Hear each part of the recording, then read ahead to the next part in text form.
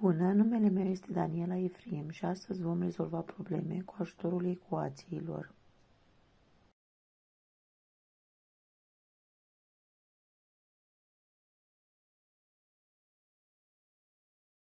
Multe dintre problemele întâlnite în practică pot fi rezolvate matematic, fie prin metode aritmetice, fie prin metode algebrice. Propunem următorul algoritm de rezolvare a problemelor cu ajutorul ecuațiilor. Pasul 1. Observarea și înțelegerea problemei. Se citește cu atenție anunțul. Se identifică ipoteza și concluzia. Se identifică mărimile necunoscute. Astfel, se stabilește și se notează necunoscuta.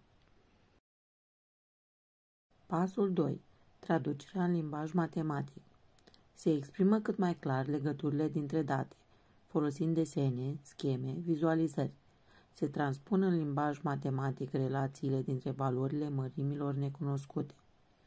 Traducerea în limbaj matematic înseamnă scrierea ecuației. Pasul 3. Realizarea raționamentului și redactarea. Se redactează clar pașii parcurși. Se scrie soluția sau mulțimea soluțiilor. Realizarea raționamentului și redactarea reprezintă rezolvarea ecuației. Pasul 4. Verificare și autoevaluare. Se verifică soluția găsită, folosind ipoteza problemei se interpretează rezultatul. Astfel, facem verificarea soluției și interpretarea rezultatului. Produsul dintre un număr și 3 radical din 10 este egal cu 30 radical din 2. Determinați numărul respectiv.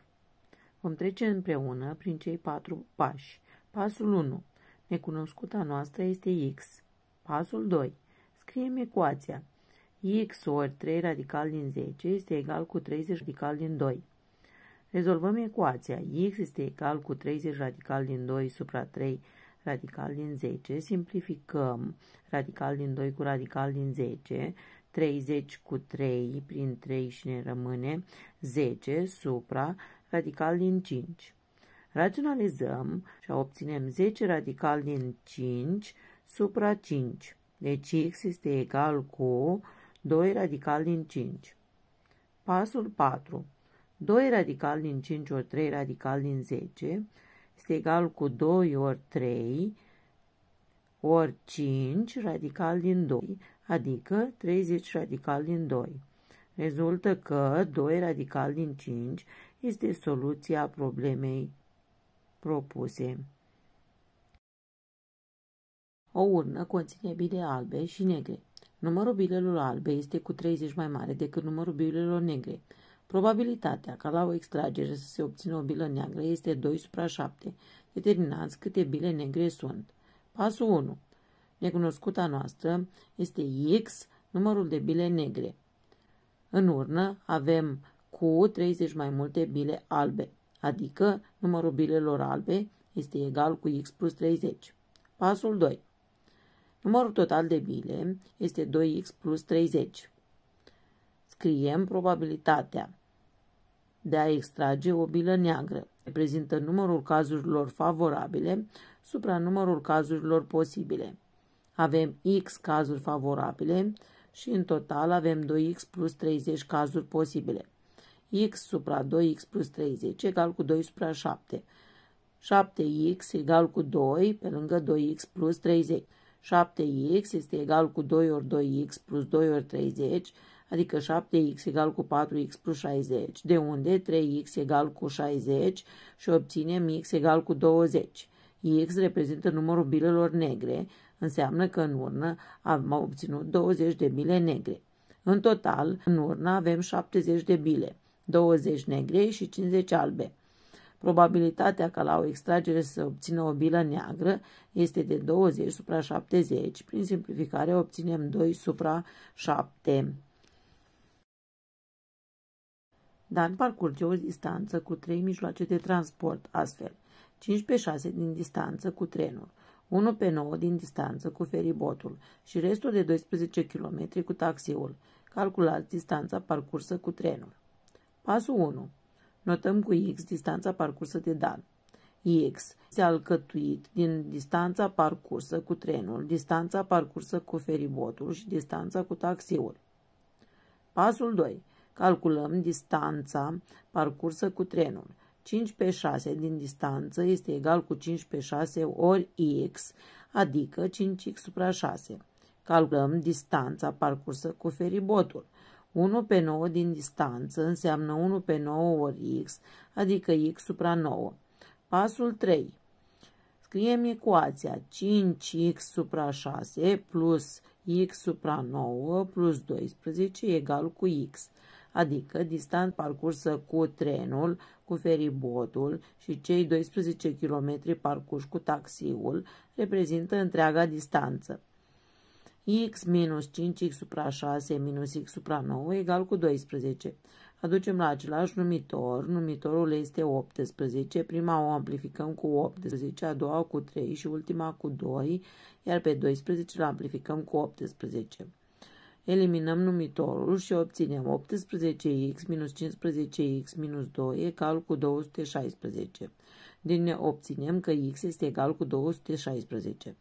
Distanța parcursă cu trenul este 5 supra 6 ori 216, adică 5 ori 36, deoarece am simplificat pe 6 cu 216 și obținem 180 de kilometri.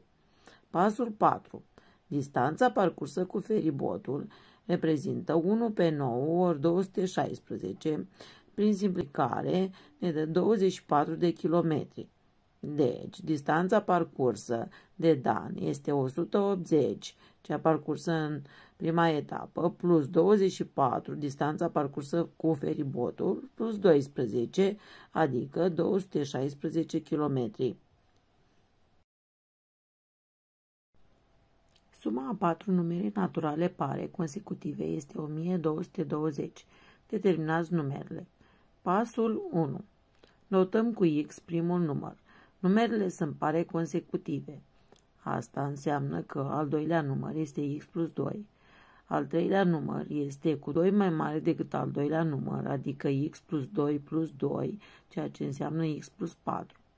Obținem că al patrulea număr este mai mare cu 2 decât al treilea număr, adică x plus 4 plus 2, ceea ce înseamnă x plus 6. Pasul 2. Suma numerelor. Avem patru numere x, x plus 2, x plus 4, x plus 6. Suma lor este egal cu 1220.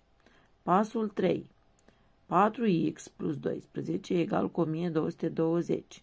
4x egal cu 1220 minus 12, de unde 4x egal cu 1208 și obținem x egal cu 1208 supra 4, adică x egal cu 302. Primul număr este 302 al doilea este 304, al treilea este 306 și ultimul este 308.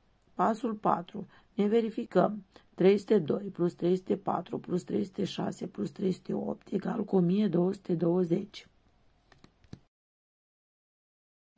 Propunem spre rezolvare următoarele probleme. Suma a 5 numere naturale impare consecutive este 385. Determinați numerele. Cea de-a doua problemă. Adunăm un număr rațional cu 3, suma o înmulțim cu 5 și obținem sfertul numărului 80. Determinați numărul inițial. Și cea de-a treia problemă, cât este ora dacă a mai rămas 3 supra 5 din zi. Presupunem că ziua începe la ora 0 și se termină la ora 24. Îți mulțumesc că ai fost alături de mine în această călătorie în lumea matematicii. Pe data viitoare!